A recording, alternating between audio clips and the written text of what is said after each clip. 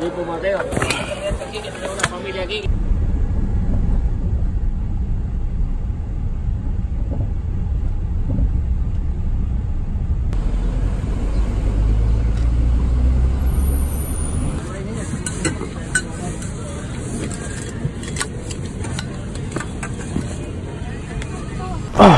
What's up everybody? I'm in the airport right now. It's about 2 in the morning. I have a 4 hour layover unfortunately. So I figured why not film a cliche what's in my camera bag for street photography slash photojournalism. I just came back from an 8 day trip in Cuba. I was working on a photo book with a fellow journalist, Anthony Orozco. Going to be writing stories, collecting quotes, and doing poetry as well inside this book. So this is everything that I packed for 8 days gear wise to make this book happen photography wise so let me just show you what's in my bag. Um, the tools that I use the gear that I use camera equipment that I use and uh, accessories as well. So first and foremost is a walkie-talkie. I think these are very important very essential communication tools especially in a place where you're not going to have internet you're not going to have cell phone service and you need to communicate with people very very quickly especially if you're working together on a project and it involves photography or involves a story and you're talking to someone and someone is somewhere else and you just need to make sure that they know that you are making something happen think these are very very clutch. All right so let me show you what's inside my camera bag the actual first front pocket. This is a clear bag where I keep everything battery needs. Um, I have an external battery charger where I can charge the batteries of my camera. I can charge my walkie-talkies. I can charge my phone. It charges everything that I absolutely need to be charged, especially when you're in the move, you're in a four hour taxi ride or four hour colectivo ride on the way to a colonial town in Cuba. You don't have anywhere to just connect and charge anything, especially when you're gonna go so fast. Have these little battery chargers for my cameras. Um, they're chargeable by USB, so I can connect them to my external battery and I can charge my replaceable batteries right away. I have some rechargeable AA batteries I didn't get to use on this trip, but have them for my microphone, my lav mic, GoPro battery, extra battery for my Rode mic, and just another extra battery. As you can tell, batteries are very important, especially when you're on a photojournalistic trip. Then here I have another clear bag. It's pretty empty, but this is my storage bag. So this is where I keep my external storage for everything that I'm dumping and backing up, double backup. I have two extreme SanDisk SSDs. These are life-changing. These are so, so small. They are so portable. I can't believe that these exist compared to just even two years ago with the external hard drives that we would have to use. So very, very clutch, very important. Make sure you have them in a place where you can easily access them just in case something were to happen to your camera bag. Then I have just a dust blower. Very important as well. Making sure your images are coming out, you know, very clean. Something very important is this Pelican memory card case. I have it labeled for used memory cards, so any memory card in here I know have used already. They have photos on them, and I've already backed them up. And I don't really want to use these anymore during the trip. I want to make sure that they are another way that I can store photos as an extra necessary backup in case I lose my external storage or my laptop. I think it's something that's very important, especially when you're on a trip that could be, you know, very, very crucial, very critical, something you're really pouring your passion into is a notebook. This is a simple, simple, plain notebook. Doesn't even have lines. Um, it just happens to be the one I brought with me.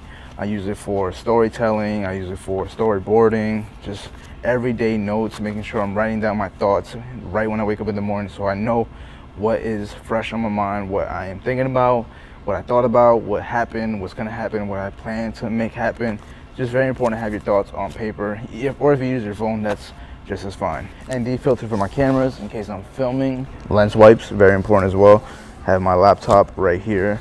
Another very important tool to bring with you on a long photo trip is wet wipes. I can't stress how important these are. I'm not to go into the details of why they're important because you obviously know why they're important but very very very important blindfold. Very important when you're on these flights, when you're on these colectivos, these long, long bus rides that you're not getting much sleep in between in nights.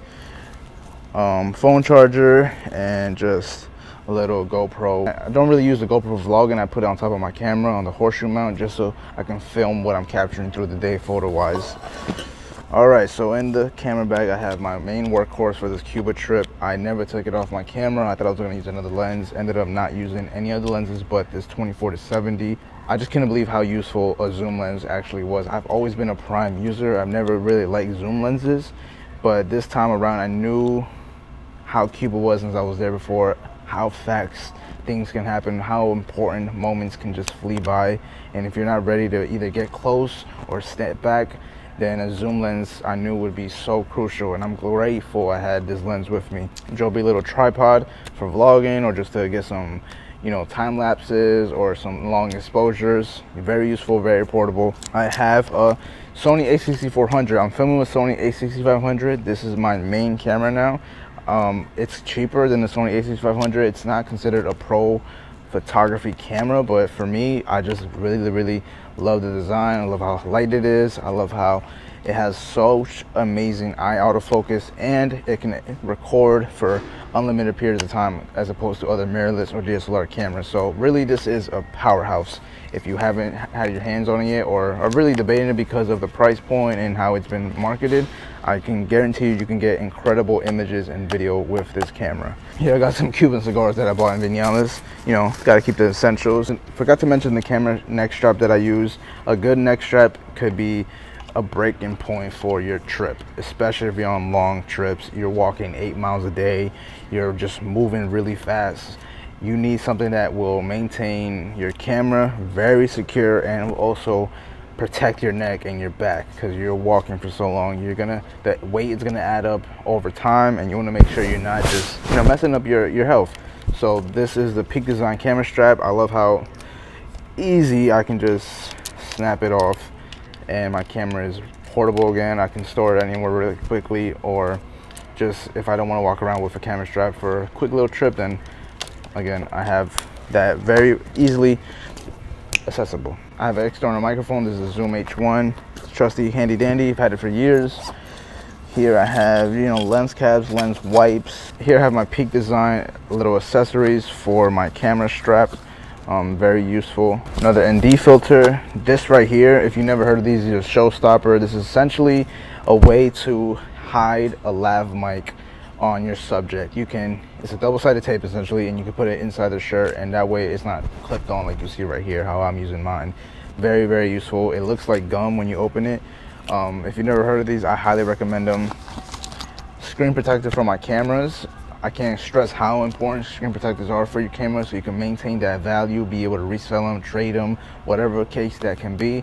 The screen is one of the most important assets to your camera, so might as well protect it. Very, very inexpensive. Highly, highly recommend that you get screen protectors. Another very important thing to have with you is a water bottle, um, something that you can refill you can reuse it's going to be durable it's going to keep your water cold lastly the thing that i brought with me on this trip was a hip pouch never bought one before never always thought they were corny never thought i would have one personally but i decided to invest in one right before i went on the last connecting flight to cuba. Honestly it's a very safe way to store your important documents your passport your boarding pass your visas um, your ids store your money that you need to convert into a certain currency when you're in that country. So I still have some Cuban pesos. And last but not least, a way to store your external SSD backup. So I have that one that you first saw in that clear bag that's always in my camera bag. But you never know, my camera bag could get stolen. I could easily just lose it somehow. Um, I want to make sure that I have all of my work safely stored with me at all times and that was where it was in this hip pouch. So you can see how small this hip pouch is and then how small the SSD is. And it just easily fit in there. I was very, very not worried about losing all of my work, not losing essentially the hard work that I have been investing in time-wise, energy-wise, passion-wise, sweat-wise, blood-wise. It's with me at all times. So I recommend a hip pouch and recommend an SSD that you can fit in your hip pouch. So I hope this little video was obviously cliche, but it was useful to you. I love actually watching what's in my camera bag videos for the sole purpose that I learn what other photographers are using, other photojournalists are using to capture their images. Not necessarily how they're capturing their images, but what tools and resources and accessories they're using to make their process a little bit easier, a little bit more stress-free, and they can just focus on the task at hand, which is to make images that last. So I hope you enjoyed this quick little video. Make sure to subscribe for my newsletter to find out more about this photo book of Cuba that I'm collaborating with Antonio Orozco, an independent journalist, on. Um, newsletter sign up will be in the description below. Follow me on Instagram if you want to see the images that we've captured along the way during that eight day trip in Cuba. And thank you for watching.